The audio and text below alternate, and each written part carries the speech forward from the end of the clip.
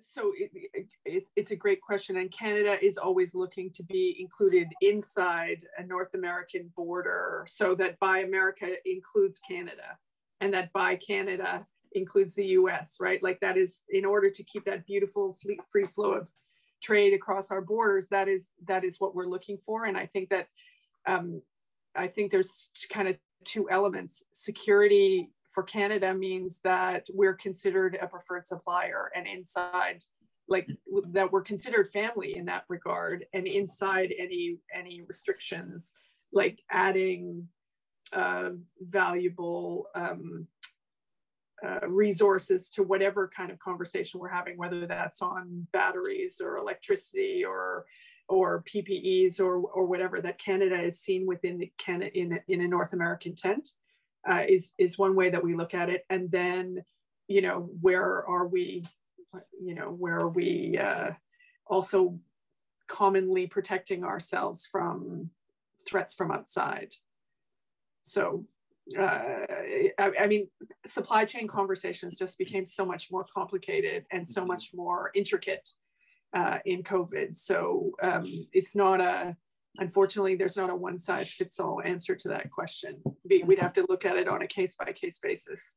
Understood. And certainly different industries, different elements yeah. related to yeah. supply chain. We did get a question in uh, as we've been on this topic about uh, the, the human resource element of supply chain, if you will, work visas, portable credentials, et cetera. Uh, it sounds like that before COVID became such a, a global uh, force, global pandemic, there was discussion about easement of uh, some of those elements, I gather, between the United States and Canada. Do you see that getting any steam this year, or will the fact that it's an election year mean uh, probably not in the near term?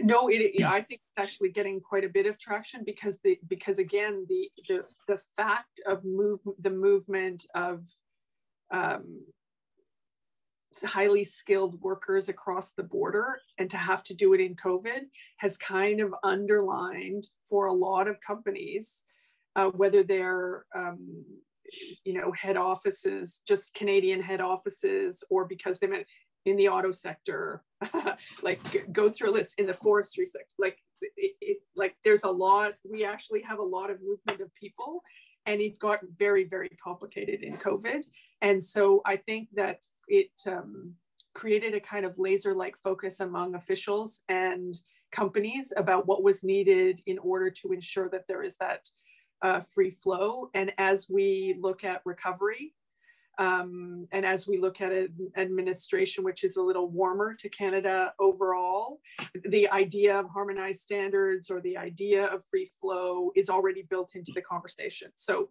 I mean, we're we're I think we're going to see more uh, North American symmetry around a range of issues because Biden and Trudeau aren't going to talk. As I said, it, it happens in four or five layers. And so those relationships are at the departmental ministry level. So um, if you if you have an if you have an issue, the, the pump is primed related to the movement of highly skilled workers between Canada and the US.